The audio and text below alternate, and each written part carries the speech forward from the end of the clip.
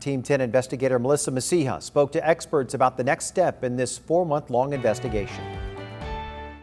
That gun violence restraining order is a temporary one. A longtime detective also wants to remind the community it's a civil order, not a criminal one. And while we are all desperate for answers, he said the process in a case like this takes time. We broke the news over the weekend, a temporary gun violence restraining order which reveals the numerous weapons police say Larry Millete owned. The order prevents him from owning or buying any more guns. San Diego PD filed the paperwork on May 5th. The written declaration showed a number of guns missing.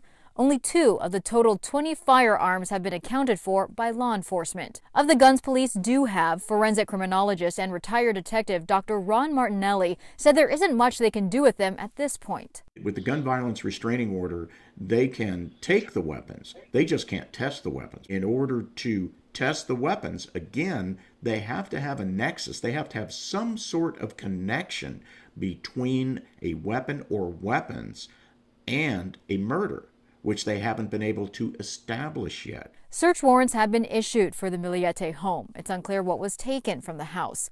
Larry Millete told officers he knew they were coming for his firearms and he gave multiple firearms to his friends. He won't say who or where they are, leaving more questions in an emotional and difficult time for Maya's loved ones. Everybody wants closure and they want justice, but these things do take time. The documents also said Larry had illegal assault weapons and unregistered firearms. That could get him in more trouble. He could be charged as a felony in and of itself, the possession of the firearms unregistered to him, you know, probably unless it's alleged or accused or used in the commission of an offense, probably looking at more of a misdemeanor charge. Attorney David Shapiro, not involved in the case, said police can't force him to share where the weapons are, but could get a search warrant for his communications.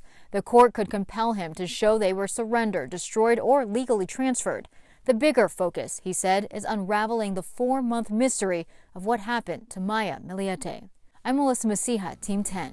A hearing is scheduled for June 22nd. On that date, the gun violence restraining order will either be expired or extended.